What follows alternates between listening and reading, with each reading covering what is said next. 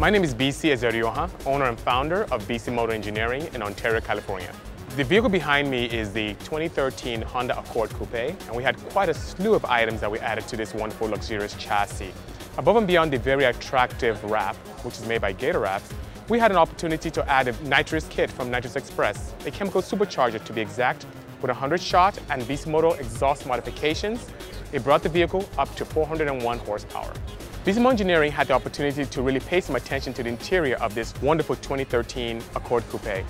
In addition to a leather wrap hand-stitched roll cage, we had the opportunity to add some GT3 seats, also embossed in leather as well.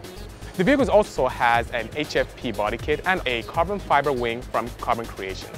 The vehicle is also lowered by two and a half inches by Progress Suspension. It also has Buddy Club brakes, rotors, and also wheels as well.